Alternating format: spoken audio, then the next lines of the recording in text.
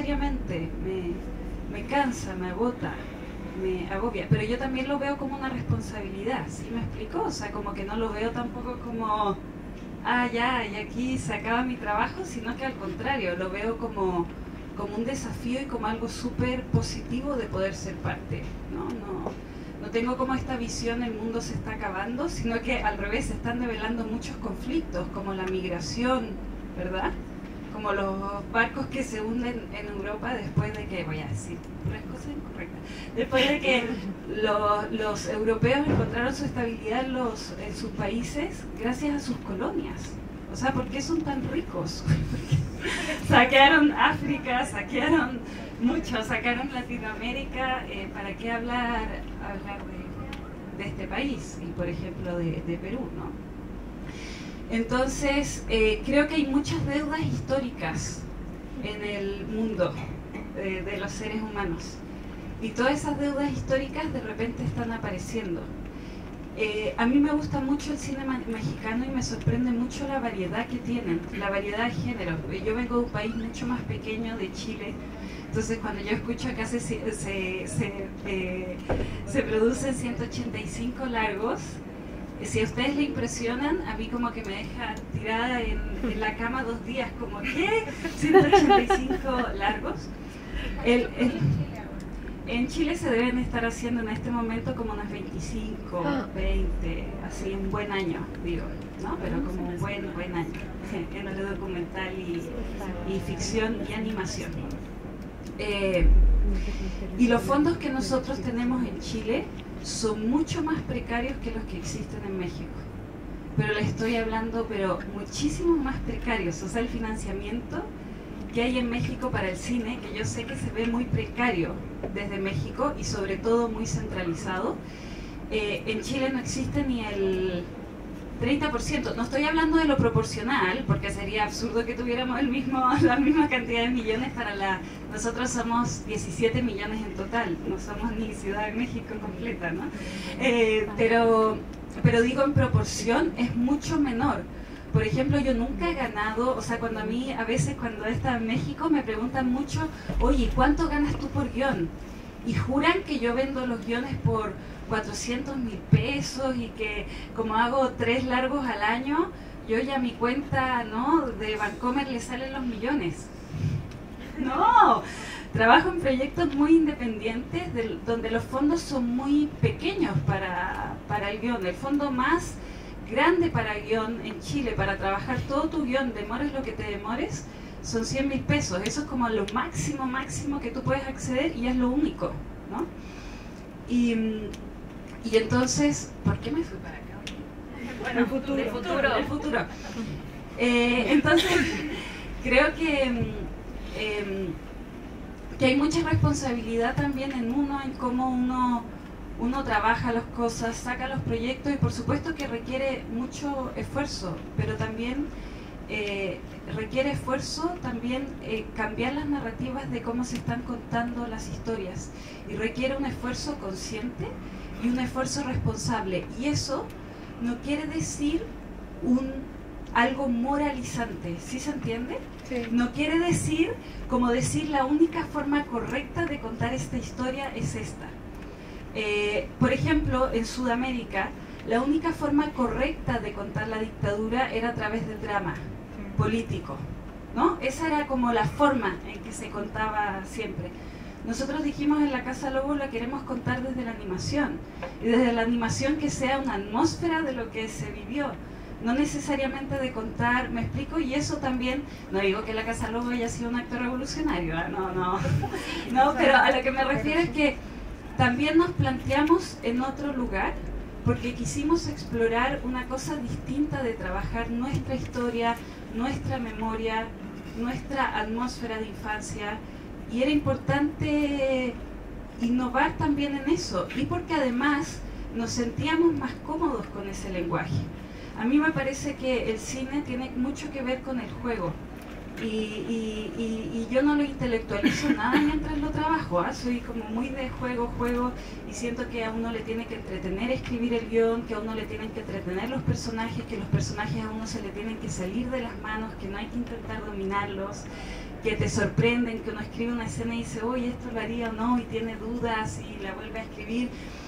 Em, y creo que tiene mucho que ver con el juego, como cuando un niño le cuenta, oye, ya había un león en la selva y el niño te dice, ¿qué pasó? Y, bueno, y una hormiga lo espiaba. Y entonces el león se quedó dormido y la hormiga se distrajo con no sé qué. Y, bla, y uno va contando, si a ti no te interesa lo que estás contando, es muy difícil que al otro, ¿no? Entonces, yo siento que, que eso, y yo por, por supuesto que me siento una guionista parte de un movimiento y que tengo una posición y que cada vez que tengo, tengo un micrófono también la relato y, y, la intento transmitir, ¿no? Porque me parece que es importante y que hay muchas cosas que tienen que ver con nuestra educación y que no tienen que ver con que somos malos o buenos, ¿no? Es que nacimos en contextos distintos, es que fuimos formados de forma distinta, es que hemos tenido oportunidades distintas. Y eso no tiene que ver con la voluntad del ser humano, tiene que ver con un sistema mucho más complejo. Bueno, eso.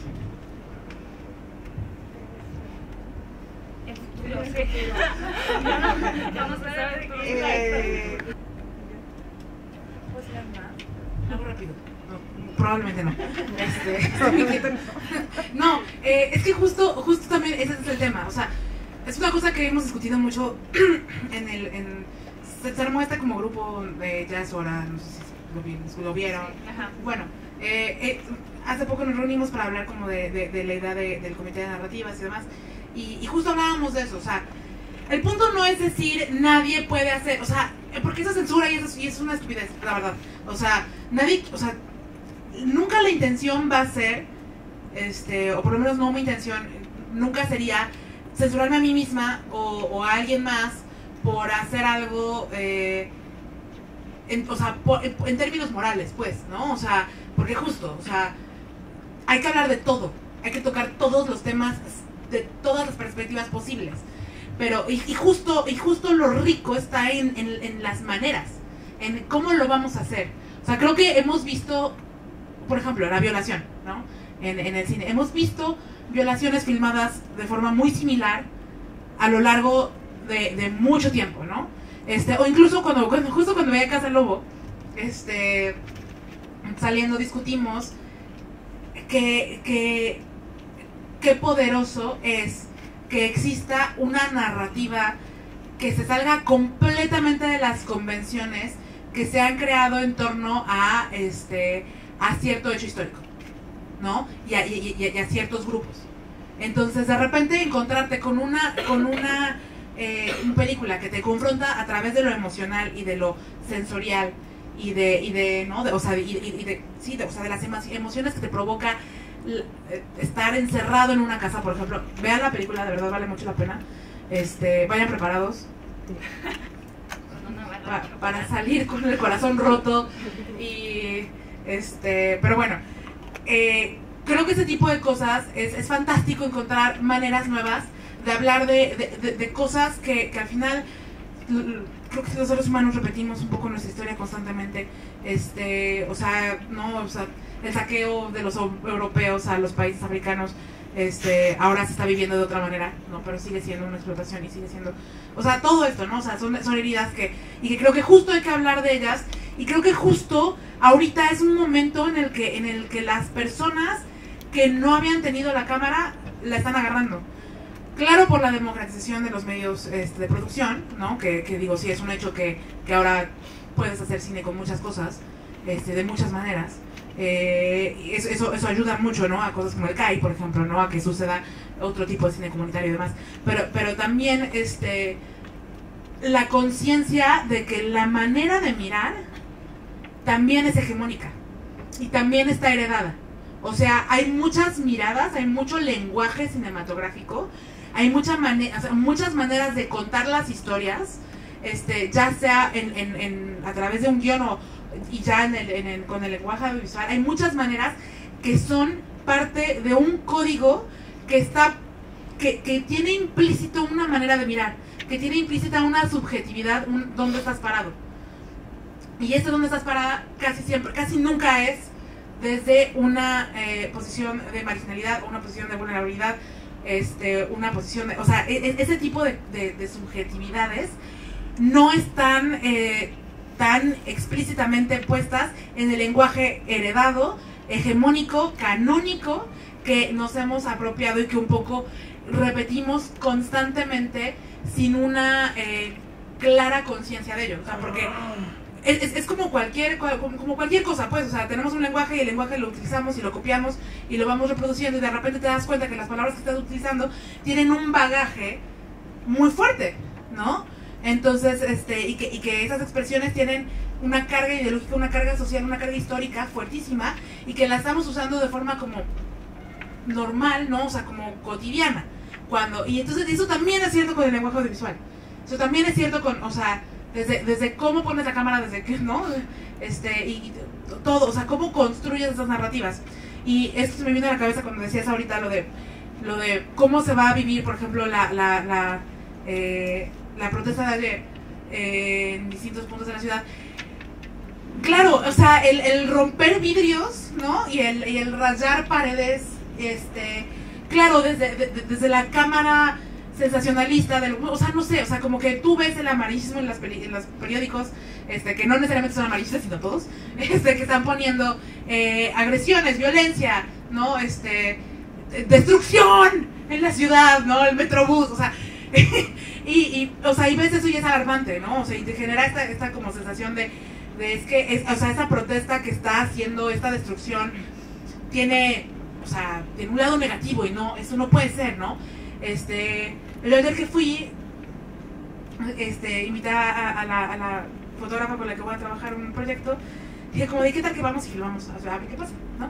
Este, y un poco como para ver, o sea, digo, ser parte, ¿no? Y en la atmósfera y no sé qué. Y dije, pero pues intentamos capturar imágenes para ver qué tipo de imágenes podemos capturar. Y en la noche que estaba revisando el material que, que, que sacamos, era otra cosa, o sea, como que, o sea, incluso grabamos el momento del vandalismo como muy por accidente porque estábamos ahí, o sea, estábamos ahí de repente empezamos a escuchar como, como estaban rompiendo vidrios y fue como de voltear con la cámara y se rompe el vidrio.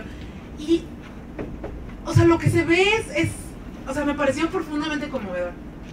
Creo que tiene que ver mucho con los ojos de, de- de la fotógrafa, como, como ella lo, lo, lo, lo agarró el momento. Pero no me pareció, o sea, no es ni agresivo ni brutal ni nada.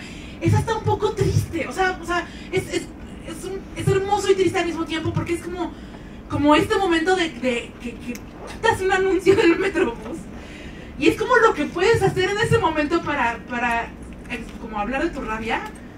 Es, no sé, o sea, me pareció como, como, no para nada lo que están poniendo en los periódicos hoy, aunque esté la misma foto, aunque sea el mismo momento exactamente, o sea, mismo momento, ¿no? Visto desde otros ojos, visto con otra intención, desde otra emoción. Y es una emoción que estábamos cargando nosotras al decidir llevar la cámara y, ver qué pasaba si grabábamos, ¿no? Y, lo que pasó fue que tenemos un momento de, de- o sea, conmovedorísimo, que a mí me parece como... O sea, yo siempre digo que soy muy ñoña, en general sí soy muy ñoña, pero eh, esto me pareció como, como tan tierno, ¿no? No sé, o sea, y creo que esa ternura que quepa en este tipo de cosas me parece fantástico. Entonces, no tiene nada que ver con el futuro, pero no sé por qué. Bueno, por, por lo del lenguaje y por lo de la posición, y, sí. Un par de preguntas.